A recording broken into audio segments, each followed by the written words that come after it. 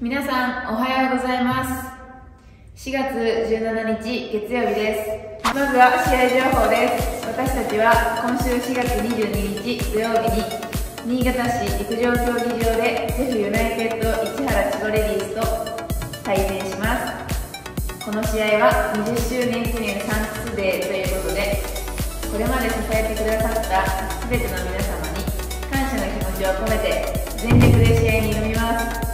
ぜひ会場で応援よろしくお願いします。さて今回は4月22日千葉線のエンジョイパークに新しいゲームが登場するということで一足先に私たちがチャレンジしたいと思います題して話題輪投げ協会プレゼンツアルビレディス全力輪投げ対決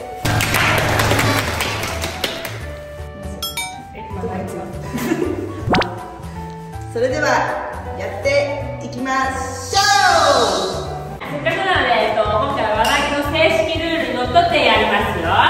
まずは投げる時ですが皆さん大人の方ですか？はい大人ということで45メートル4メートルか5メートル離れていただいて輪投げ。はいこれ9本あるんですけど9本全部持った状態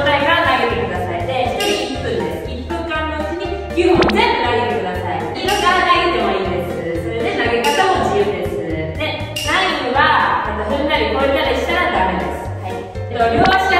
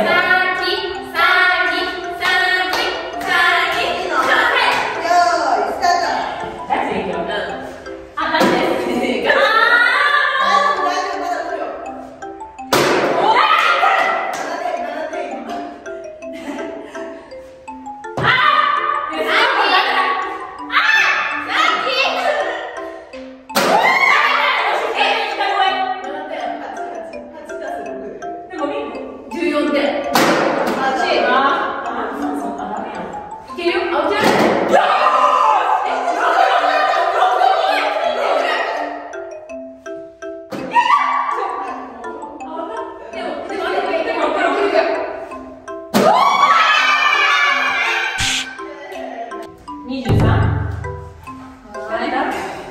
結果発表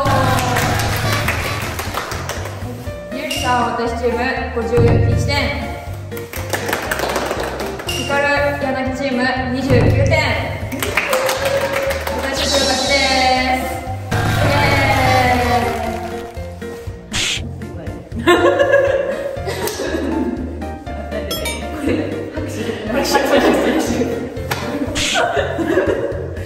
どうでしたか？ちなみにこの輪投げは伊藤木丸井工業さんで作られています。